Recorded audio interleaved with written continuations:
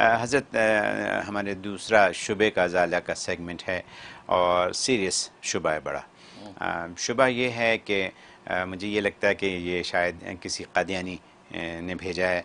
आ, वो ये कहता है कि आप मुसलमान हम कादियानी को मुनकर ख़त्म नबूत कहते हैं के लिए कहते हैं और ख़ुद आपस में ही लड़ते रहते हैं।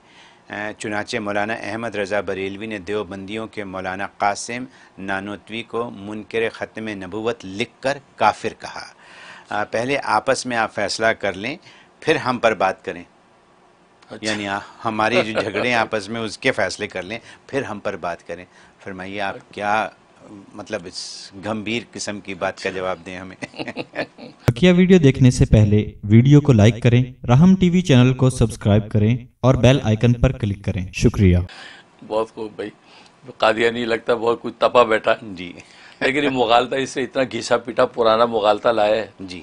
कि इस मुगालते के जवाब उलमा देते देते किताबें भर गए ऐसे ही है। और आज तक तो उलमा इसको क्लियर करते रहे हैं। जी। और इस बेचारे की हालत ये है कि वही वहीं बैठा है कि सारी रात रोते रहे मरा कोई भी नहीं। जी। सुबह जो मरा था वो भी उठ के भाग लिया। जी, जी। वो कहते हैं यूसुफ जुलेखा की कहानी सारी रात सुनते रहे। सुबह उठ के पूछता है कि जुलेखा आदमी था कि औरत थी? जी। तो ये बेचारा वहीं बैठा इसे लगता कुछ देखा ही नहीं है। हम्म। तो ये जवाब तो कब से देते आ रहे हैं। और फिर दूसरी बात यह कि हम सुन्नियों का आपस का झगड़ा है। हम्म। हैं? हम सुन्नियों का आपस का झगड़ा आप कादियानियों को उससे क्या फ़ायदा है? आला हज़रत जो है वो भी सुन्नी है, मौलाना कासिम नानोतवी भी सुन्नी है, इनका आपस में एक इलमी झगड़ा है। लेकिन आप कादियों को उससे क्या फ़ायदा? क्यों? इसलिए कि ये दोनों, यानी आला हज़रत मौलाना अहमद खां बरेलवी रहीमुल्ला और हजरतुलस्लाम मौलाना कासम नानोतवी रहमुल्ला ये दोनों आप कादियानियों को तो काफर ही समझते हैं। आला हज़रत ने भी कादियानियों को काफर कहा है, हज़रत नानोती ने भी काफर कहा है। तो ये दोनों, हम दोनों मिलके तो आपको काफर ही कहते हैं, आपको इनके आपस के झगड़े से तो फ़ायदा ही नहीं। या तो झगड़े से फ़ायदा होता। और फिर दूसरी बात यह कि अगर मौलाना कासम नानोतवी मुनकर ख़त्म नबूत होते तो आपको मुनकर ख़त्म तो होने की वजह से काफर क्यों कहते? क्योंकि इसका मतलब ये वो अपने आप को काफर कह रहे हैं। तो ये कोई जी होश, जी अकर ये बात तो नहीं कर सकता। इसका मतलब है कि आप किसी बात से गलत फहमी हुई है आपको। मिसकनसेप्शन हो गया है कि कासम नौरतवी तो आपको काफर कह रहे हैं कि जो जो रसोल्ला की खदमत का मुनकर वो काफर है। ठीक है, हमारा दीनों ईमान है कि रसोल्ला के बाद किसी नबी के आने के बारे में कोई तावील करे एहतमाल रखे तो वो हमारे नज़ीक काफिर है। वो तो ये कह रहे हैं। तो अगर जो है वो खुद मुनकर ख़त्म नबूत हों तो वो क्यों फतवा देंगे ये?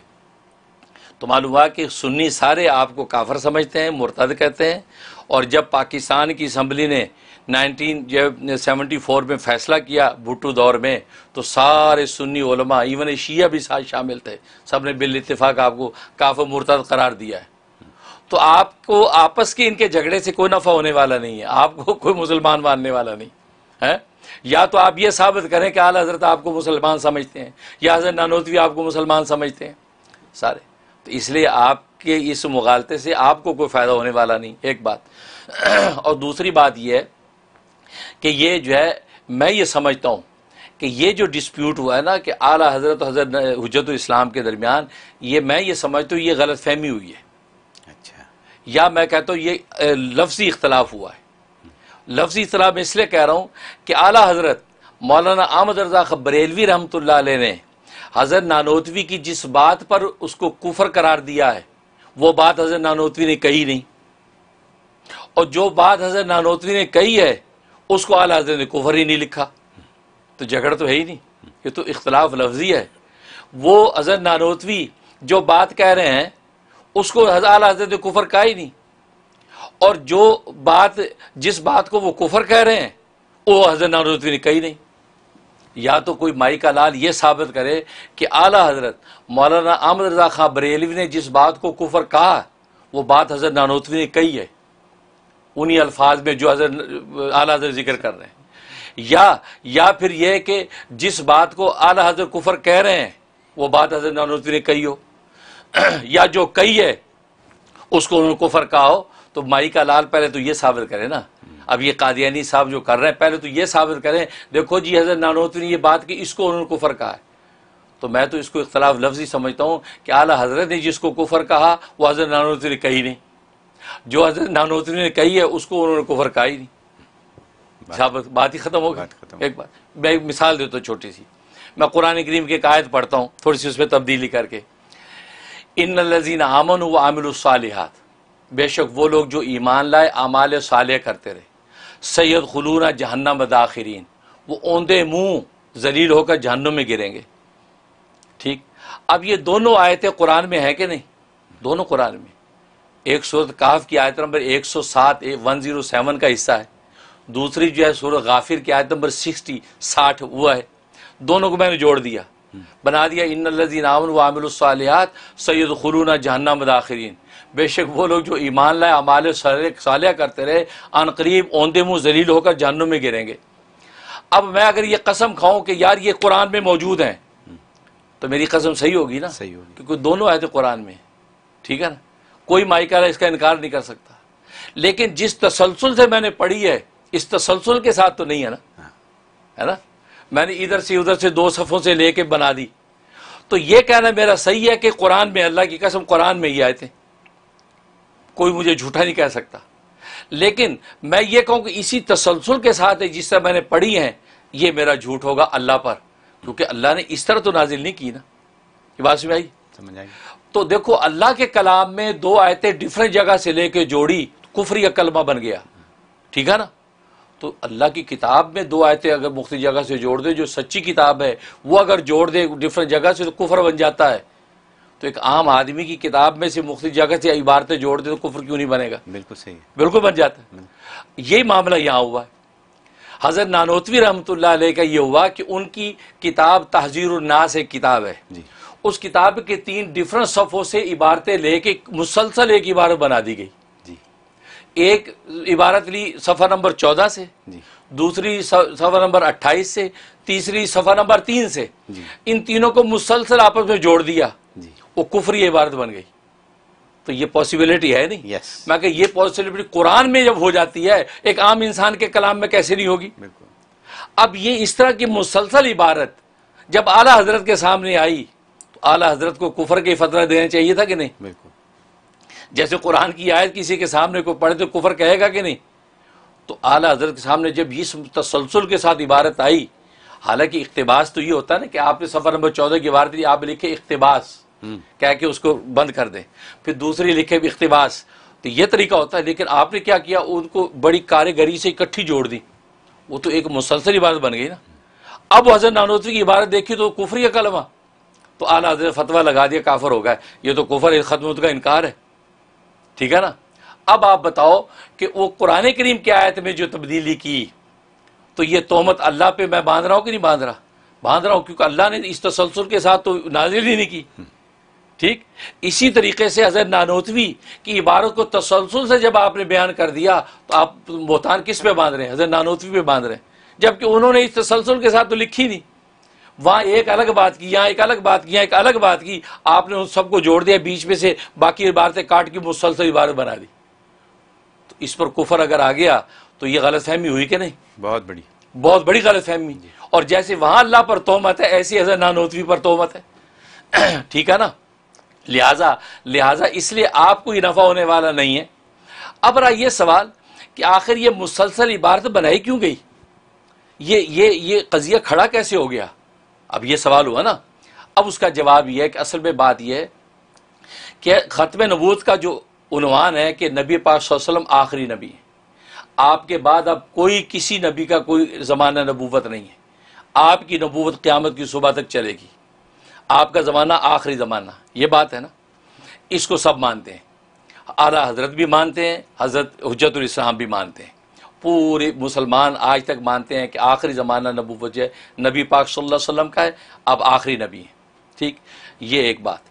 हज़रत नानोतवी रहमत ने इसी उनवान पर मुहदसाना गुफ्तु की फ़कीहाना गुफ्तु की कि ताकि ख़त्म उनका उनवान पुख्ता हो। तो आपने इसी उनवान को मजीद पुख्ता करने के लिए एक मनतकियाना गुफ्तु भी की। अच्छा। मनतकियाना गुफ्तु करते हुए आपने ये गौर किया कि अल्लाह तबारक व ताली ने कुरान करीम में फरमाया है कि माँ काना मोहम्मद अबा आहदिम रिजालिकुम कि मोहम्मद सल्लल्लाहु अलैहि वसल्लम तुम्हारे मर्दों में से किसी के बाप नहीं है। हुँ? अब ये बात कहने को फजीलत की बात तो नहीं है ये खबर ही है ना। इसमें नबी का कोई मुकाम पड़ रहा है कि आप मर्दों में किसी के बाप नहीं है। मतलब आपकी औलाद बचपन में फौत हो गई जो मुजक्कर औलाद मर्द होने तक नहीं पहुँची। तो इसमें कोई फजीलत की बात तो बताए एक इतला है कि मर्दों में किसी के बाप नहीं है। इसमें कोई फजीलत तो नहीं। लेकिन जब फजीलत नहीं तो अल्लाह ने इसमें एक फजीलत पैदा कर की उसके बाद कि लोग ये ना समझें कि नबी की ज़ात में बज़ाहिर को मर्दों के बाप नहीं कोई फजीलत की बात नहीं। लेकिन अल्लाह ने उसमें फजीलत पैदा करने के वलाकिन का वलाकिन रसूल अल्लाह व ख़ातमनबीन लेकिन वो अल्लाह के रसूल हैं और ख़ातमनबीन हैं। ये कह के आपकी ज़ात में फजीलत पैदा कर दी, जो पहले नहीं नज़र आ रही थी। ठीक? और वो लाकिन का लेकिन, तुम ये ना समझना कि बाप नहीं तो ओके नहीं लाकिन, लेकिन, सुनो, इस्तदराक। सुनो, वो अल्लाह के रसूल हैं। इसमें एक सवाल पैदा हो रहा था, उसको दूर किया कि यार, अगर किसी मर्दों के बाप नहीं है तो फिर इसका मतलब है कि उम्मत जो है, वो नबी के बाप होने की जो हैसियत की शफकत है, उससे मारूम हो गई। क्योंकि जब बाप मर तो बचपन बच्चे फौत हो गए, बड़े हुए नहीं, वो बाप की शफकत से मारूम हो गए। तो अल्लाह ने उसका जवाब, नहीं वला के रसूल वो अल्लाह के रसूल हैं, वो रूहानी बाप हैं, और रूहानी बाप की शफकत तो जिसमानी बाप से ज़्यादा होती है। लिहाजा नबी की शफकत से मारूम नहीं है बाप होने की ऐसे से, वो रूहानी बाप हैं, और लिहाजा उनकी शफकत उम्मत पे चलेगी, वो अल्लाह के रसूल हैं, और रसूल रूहानी बाप होता है। जब ये बात कही तो फिर एक और सवाल खड़ा हुआ कि यार अगर रूहानी बाप हैं तो जैसे जिस्मानी बाप की विरासत चलती है कि उसका वारिस उसका वारिस है तो क्या फिर ये रूहानी बाप है तो रूहानी यानी नबूवत ये विरासत भी आगे औलाद में चलेगी? यानी उम्मत नबी आएँगे? ये सवाल पैदा हो सकता है ना? जब आप बाप बना रहे हैं तो फिर आप मिराज को भी तस्लीम करें। तो अल्लाह ने फ़ौरन उस शुबे को दूर कर वखातम नबीन रूहानी बाप तो हैं जिसमानी बाप की मिराज चलती है लेकिन ये रूहानी बाप ऐसे इसकी मिराज नबूवत की चलेगी नहीं। खातम नबीन आखिरी नबी है। क्लैरिफाई क्लैरिफाई कर दिया खातम नबीन है नबूवत की विरास अब इनकी औलादों में नहीं चलेगी। कि आप कल को कहें कि ये ये उम्मती उनका नबी है उनका वारिस है नबी। तो खातम नबीन कह के बंद कर दिया? अब यह एक और शुबा होता है कि आप शान तो रसालत की बयान कर रहे हैं अल्लाह वला की रसूल अल्लाह लेकिन वो अल्लाह के रसूल हैं। तो ख़त्म भी रसालत को करना चाहिए था ना वह ख़ातमल मुरसलीन। कि वह अल्लाह का रसूल भी हैं, बल्कि ख़ातमल मुरसलीन हैं, रसूलों को ख़त्म करने वाले हैं। रसूलों को ख़त्म करने वाला नहीं कहा, बल्कि कहा नबियों को ख़त्म करने वाले हैं मतलब आखिरी नबी हैं। तो क्या बात है, रिसालत को ज़िक्र क्यों नहीं किया? हालाँकि रसूलुल्लाह में तो रिसालत का बयान हो रहा है। तो उसी नस्बत से उसको ख़त्म करना चाहिए था। तो उसका जवाब असल में है कि रसूल ख़ास होता है, नबी आम होता है। ये वजह का रसूल जो एक कौल के मुताबिक 110 रसूल आए दुनिया में। रसूल उसे कहते हैं जो मुस्तकिल शरीयत और आसमानी किताब लेके आता है उसको रसूल कहते हैं। और एक कौल के मुताबिक 313 रसूल आए हैं ठीक? बाकी सारे नबी। और नबी कमो बेज एक लाख जो चौबीस हज़ार आए हैं ठीक? अब अगर अल्लाह तबारक वारा कह देते वो ख़ातमल मुरसलीन के रसूलों को ख़त्म करने वाले हैं तो नबूवत का दरवाज़ा तो खुला रहता ना। लोग कहते ये रसूल नहीं को आएगा और हाँ, नबी आएँगे। तो नबी तो आम है ना तो वो उन रसाल से नीचे का दर्जा है। लेकिन अल्लाह तबारक वाली ने कमाल किया कि ख़त्म किया कि नबूवत को ख़त्म किया। ख़ातमन नबीन जब नबी नहीं आएगा तो जो नबी नहीं होगा तो रसूल कहाँ से आएगा? ठीक है ना? नबी नहीं होगा तो रसूल देखो क्योंकि ऊपर के लेवल का हो बंदा उसके अंदर नीचे का लेवल शामिल होता है। हम्म। क्योंकि रसूल नबी होता है लेकिन नबी का रसूल होना ज़रूरी नहीं है। हम्म। ठीक है ना? जैसे हम ये कहें कि यहाँ कोई पीएचडी डॉक्टर नहीं है। कोई पीएचडी डॉक्टर नहीं है। लेकिन इसका मतलब ये नहीं कि मास्टर्स भी नहीं है। हम्म। मास्टर बैठे हैं दस मास्टर बैठे हैं जी मास्टर एम एम में है? लेकिन ऊपर की नफी से नीचे की नफी नहीं हुई। लेकिन अगर आप कहते यार इस कमरे में कोई भी मास्टर्स डिग्री का आदमी नहीं है तो पीएचडी तो की तो नफी ऑटोमेटिकली हो गई ना। क्योंकि पीएचडी बगैर मास्टर की हो ही नहीं सकती। ठीक है ना? तो इसलिए अल्लाह ने क्या कमाल किया? अल्लाह ने गोया कि वो एमए की नफी कर दी हम्म। कि कोई मास्टर यानी कोई नबी नहीं है। इसका मतलब रसूल का सवाल ही पैदा नहीं होता क्योंकि रसूल का दावा करे क्योंकि रसूल नबी बने, बगैर रसूल बन ही नहीं सकता। एम ए किए बगैर कोई मास्टर हो ही नहीं पी एच डी हो ही नहीं सकता। ठीक? ये बात। अब हज़रत नानोतवी ने इस पर गौर किया कि अल्लाह ने ख़ातमनबीन का जो उनवान है, ये अल्लाह, नबी की तारीफ़ और मदा के मुकाम पर बयान किया है कि अल्लाह नबी की तारीफ़ करना चाहते हैं कि ख़ातमनबीन ये आखिरी नबी है, इनका ज़माना आखिरी ज़माना है नबूवत का। ये, उन पर गौर किया कि यार आखिरी नबी होना और आखिरी ज़माने में आना, इसमें फजीलत की बात क्या है? इसमें आखिर फजीलत की बात क्या? हालाँकि मकाम मदा में अल्लाह ज़िक्र कर रहे हैं, लेकिन इसमें फजीलत की बात क्या है? एक आदमी आखिर में आए तो आखिर में आखिर में नफ से आखिर में आना तो कोई कोई फजीलत की बात नहीं ना? लेकिन आखिर में आए इसलिए कि वो सबसे आला और अरफा है, तब आखिर में आ रहा है। जैसे कॉन्फ्रेंस जलसा हो, जलसे में आखिरी मुकर जी फलां हैं। तो आखिरी मुकर इसलिए आखिरी बना है कि वो सबसे ज़्यादा बकाबिल है। सबसे ज़्यादा फाजिल है, तभी आखिर में आ रहा है। इसलिए उससे पहले छोटे छोटे खतीब तकरीर करके बड़ा खतीब आखिर में आ रहा है, क्योंकि ये सबसे ज़्यादा काबिल है। ये होगा ना? तो नबी को जब कहा कि सबसे आखिर में आ रहे हैं तो हज़रत नानोतवी ने सोचा कि यार सबसे आखिर में जो आ रहे हैं, इसका मतलब है ये मर्तबे भी सबसे आला है। तभी तो अल्लाह इसको आखिर में ला रहा है। वरना अकेला आखिर में लाना ये को बाहर फजीलत की बात नहीं, ये फजीला असल में इसलिए कि ये सबसे आला है। तो गोया कि सबसे बाद में आए और उसके बराबर का भी कोई ना हो यह है कमाल। यह है कमाल कि सबसे बाद में आए और सबसे बाकमाल निकल गए, ये शान। तो जब इस पर गौर किया तो हज़रत नानोतवी ने फरमाया कि नबू ख़त्म नबूत की दो किस्में बन रही हैं। एक ख़त्म नबूत मरतबी और एक ख़त्म नबूत ज़मानी। और ख़त्म मकानी का भी ज़िक्र करते हैं।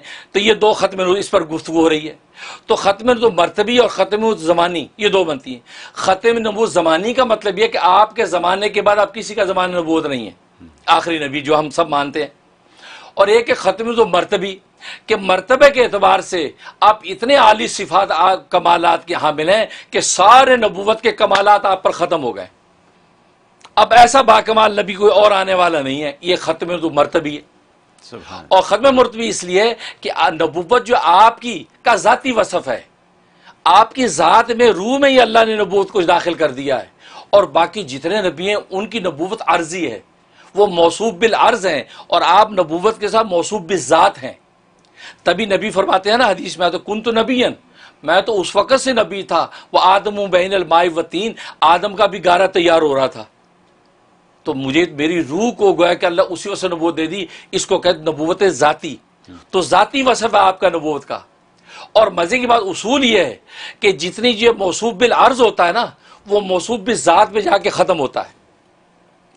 मसले छोटी मिसाल देता हूँ, हंडिया के अंदर गर्म पानी है। आपने पानी को हाथ लगा वो गर्म वो पानी गर्म है यार पानी गर्म क्यों है? आप कहते हो ये हंडिया गर्म है यार। ओ अच्छा हंडिया के गर्म होने के सिर्फ़ पानी गर्म है। यार ये हंडिया क्यों गर्म है? आपने हंडिया हंडिया भी गर्म। यार हंडिया क्यों गर्म आप नीचे आग जले और आग की वजह से गर्म है। अब कोई अकलमंद कह कि आग क्यों गर्म है? तो आम काना सवाल है। क्योंकि आग तो मौसूफ बिजात है उस गर्मी के साथ। उसका जाती वजफ ही गर्मी हरारत है। उस पर आपके बात आकर बात खत्म हो जाती है। पहले से चलती आएगी कि पानी क्यों गर्म है यार हंडिया की वजह से? हंडिया क्यों गर्म है? यार आग की वजह से। आग क्यों गर्म है? यार आग का की जात ही गर्म है भाई। वो जात के एतबार से गर्म है। तो वहाँ सवाल खत्म हो गया ना। बस यही बात है कि देखो फला नबी क्यों नबी है? ये मोहम्मद वसल्लम की नबूत का फैज़ है। क्योंकि सबको नबूत बिलार्ज है। और आखिर में जब नबी की नबूत पर पहुँचे कि नबी की नबूबत फरमाया कि नबी अपनी ज़ात से रोशन है नबूबत के साथ। उनको किसी और नबी के फैज से नबूत नहीं मिली, बाकी सारे नबियों को आपके फैज से नबूत मिली। जैसे शम्स जो है सूरज सूरज की रोशनी अपनी जाती है। लेकिन उसकी रोशनी से चाँद रोशन है। चाँद की अपनी जाति नहीं है। सही है। ठीक? तो अब सूरज से ले रहा है। इसी आफ्ताब नबूत जो नबी को हासिल हुआ आपकी रूह को नबूत दे दी आप सूरज की तरह अपनी ज़ात भी रोशन है नबूत के साथ। आप किसी और नबी से नबूत नहीं मिली लेकिन आपके ज़रिए से और नबियों की नबूत मिली। आपकी इस रोशनी के आफ्ताब नबूत से और कितने आयन नबूत रोशन हो गए। इब्राहिम को नबूत मिल गई मूसा को मिल गई ईसा मिल गई आगे नबूत की रोशनी चल रही।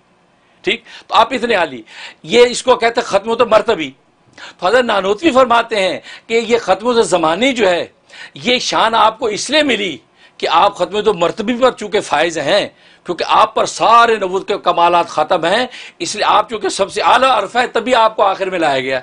और आखिर में वही होता है जो सबसे आला अरफा होता है, कि बाद में आए और उसके बराबर भी कोई ना हो। यह ख़त्म मरतबी। तो हज़रत नानोतवी जो, ख़त्म नबूत मरतबी पर गुफ्तु कर रहे हैं। और उस उस माना में कह रहे हैं, अगर बिलफर्ज अगर बिलफर्ज नबी के ज़माने में भी कोई नबी आ जाए तो आपके ख़त्म नूत मरतबी की वजह से आपके मुकाबले में खड़ा नहीं हो सकता। आपका खत्म तो मरतबी का जो मुकाम है, वो कायम रहेगा। जमाने जमाने की बात नहीं कर रहे हैं, मरतबी की। ठीक? कि मरतबी का जो मुकाम है आपका, अगर कोई नबी आ भी जाए तो आपके खत्म मरतबी की वजह से वो आपके महतात रहेगा, आप ऊपर हावी नहीं हो सकता, क्योंकि आप सबके कमालात में हावी हैं। यही वजह है कि सही हदीस में आता है, नबी पाक सल्लल्लाहु अलैहि वसल्लम ने एक वाक़े में फरमाया हज़रत उमर से कि लो काना मूसा हयन अगर मूसा आज ज़िंदा होकर आ जाए तो उनको भी मेरी पैरवी किए बगैर कोई गुजार चाराकार नहीं है। तुम तो रात पढ़ रहे हो? कुरान पढ़ो। तो देखो, वहाँ नबी कह रहे हैं कि अगर ईसा आज, मूसा आ जाए, ज़िंदा हो कि आज तो भी मेरी पैरवी करेंगे, क्यों पैरवी करेंगे?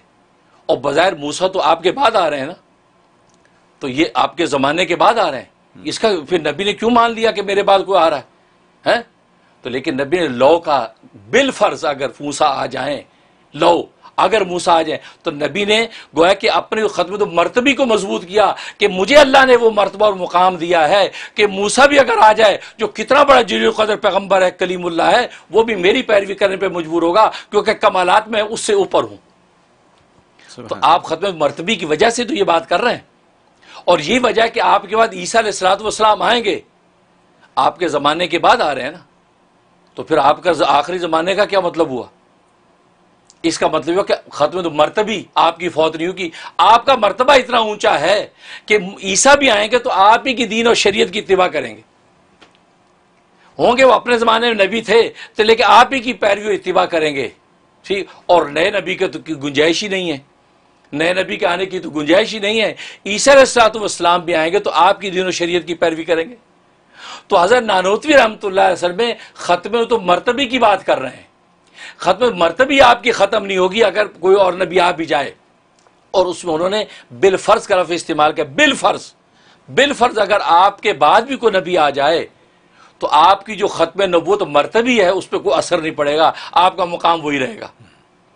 और बिल फ़र्ज़ कह के बयान किया इसलिए बयान किया कि देखो, बहुत से नबी तो मौजूद है जो आए दुनिया में। वो भी शामिल है कि उनमें भी से कोई आ गया तो वो भी जो है वो हज़रत हजूर के कम, कमाल का मुकाबला नहीं करेंगे। और बिलफर्ज कह के आपने अफराद मुकदरा एक तकदीर एक जो है बिल फ़र्ज़ महाल बना के अगर बिलफर्ज कोई और भी ऐसे कोई नए नबी भी अगर आ जाए तो ख़त्म मरतबी में आपका मुकाबला नहीं कर सकते। तो आपने उन नबी के मरतबी को इतना बुलंद किया। ठीक है ना? और ये बिलफर्ज कह के उनवान को पुख्ता करना ये अल्लाह की भी सुन्नत है। मतलब कुरान में अल्लाह ने कहा लौकाना फ़ीमा आलियातफ़सदता अगर बिलफर्ज अल्लाह के अलावा कोई और मबूद दुनिया में होता तो दुनिया में ज़मीन फसाद फैल जाता। अब इसका क्या मतलब है कि आने की गुंजाइश मान ली? अल्लाह ने मान ली गुंजाइश मेरे पास कोई इला आ सकता है। गुंजाइश मानी? नहीं। गुंजाइश नहीं मानी। अल्लाह ने अपनी उलूहियत को पुख्ता करने के लिए उन्होंने इख्तियार किया कि यार तुम अभी की बात करते हो, बिलफर्ज कोई आ भी जाए ना, फिर भी मैं ही मैं हूँगा। क्यों? इसलिए कि फसाद होगा और फसाद के अंदर झगड़े में कोई एक गालिब होगा ना? और गालिब मैं ही होगा जब मैं ही गालिब होगा तो एक ही मबूद रह गया ना? ऐसे ही। ठीक है ना? एक क्या बारिश बरसाओ दूसरा कहता बारिश ना बरसाओ। दोनों का झगड़ा हुआ। झगड़ा होने के बाद एक गालिब होगा जो गालिब होगा वो मबूद होता है जो मगलूब होता है मखलूक होगा। तो एक से बढ़ के नहीं सकता। बिल्कुल इसी तरीके से हज़रत नानोत बिलफर्ज का लफ इस्तेमाल करके नबी पाक सल्लल्लाहु अलैहि वसल्लम के ख़त्म नबूत को पुख्ता किया है। कि बिलफर्ज मौजूदा नबी तो मौजूदा नबी को और नया नबी भी आ जाए तो नबी की ख़त्म नबूत मरतबी जो है उसको टसमस नहीं हो सकता। क्योंकि आपको जो मुकाम दे दिया अब आने वाला आपके ताबी होगा आपके ऊपर नहीं हो सकता। ठीक है ना? बिल्कुल तो ये बात। तो हज़रत नानोतवी ने तो खत्म मरतबी पर गुफ्तु की। अब वो इबारत जो किसी ने जो तीन जगहों से इबारत ली, चौदह, अट्ठाईस और तीन सफ़े से, उसको तसलसल यूँ जोड़ दिया कि ऐसे लगा कि जैसे हज़रत नानोतवी ख़त्म नवुस ज़माने का इनकार कर रहे हैं कि आपके ज़माने के बाद कोई और नबी आ सकता है। गुंजाइश है। अगर ये बात है तो फिर अल्लाह की उस आयत से भी गुंजाइश निकालें आप। कि अल्लाह के बाद भी कोई मबूद हो सकता है, अल्लाह के अलावा भी। जब वहाँ गुंजाइश नहीं निकालते, यहाँ गुंजाइश आपने क्यों निकाली? वहाँ जब आप मबूदियत के मरतबे को पुख्ता करना मानते हैं, यहाँ भी खत्म के मरतबे को पुख्ता पुख्ता करना माने। इसका मतलब आप खुद भी फरेब देने की कोशिश कर रहे हैं, अवाम को धोखा देने की कोशिश कर रहे हैं। इसलिए ये गलत है। इसलिए जो है हजर नानोतवी ने ख़त्म मरतबी के बारे में ये बात कही कि उनको जो मरतबा हासिल है, अगर कोई अच्छा फिर ख़त्म नू तो मरतबी जो है वो जब किसी को हासिल हो जाता है तो ख़त्म ज़मानी ऑटोमेटिकली उसके साथ लग जाता है लाजिम हो जाता है। क्योंकि जो ख़तीब मरतबे में सबसे बुलंद होता है वो आखिर में लाया जाता है ना। ऐसे ही तो ये तो हज़रत नानू ये कह रहे हैं कि नबी चूँकि ख़त्म तो मरतबी के साथ मुतसिफ हैं लिहाजा अब आखिर में लाना भी आप ही के साथ लाजिम हो गया इसलिए आपको आखिर में लाया गया। क्योंकि आपके मरतबे का कोई नहीं है और जब किसी के मरतबे का कोई नहीं होता उसको आखिर में लाया जाता है। फिर इसलिए लिख रहे हैं कि अगर नबी के बाद किसी और नबी के आने की कोई गुंजाइश और एहतमाल माने फरमाया मैं उसको काफर समझता हूँ।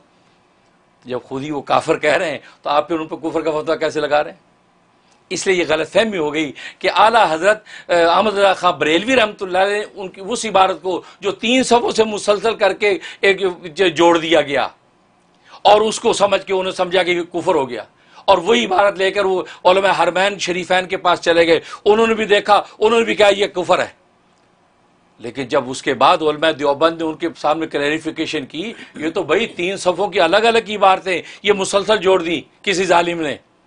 तो उन्होंने कहो उन्होंने फतवा वापस लेकर, नहीं नहीं, हर चीज़ अपने अपने मुकाम पे, उस मुकाम पे ख़त्म ज़मानी की बात कर रहे हैं, इस मुकाम पे ख़त्म मरतबी की बात कर रहे हैं, ये तो अलग अलग ये तो उन्होंने खतून का इनकार ही नहीं किया, बल्कि मुनकर को काफर समझ रहे हज़रत नानोतवी। तो उन्होंने अपना फतवा हरमैन शरीफैन ने वापस ले लिया। वापस ले लिया।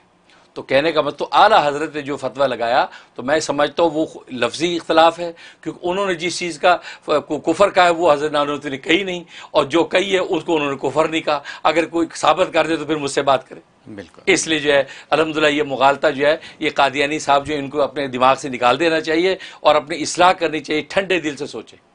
और ये बहुत गंभीर मजमून था जो दरिया बकूज़ा करने की मैंने कोशिश की है। लिहाजा इशारे मैंने सब दे दिए अब समझदार को चाहिए इससे सबक हासिल करे। और हज़रत नानोतवी जैसा आदमी जो हज़रत इस्लाम और जिस दीन इशाद का वो मरकज़ कायम किया, जो आज दारुल देवबंद के नाम से है और पूरी दुनिया के अंदर उसका डंका है और उसके इल्म फजल के सामने कोई ठहर नहीं सकता।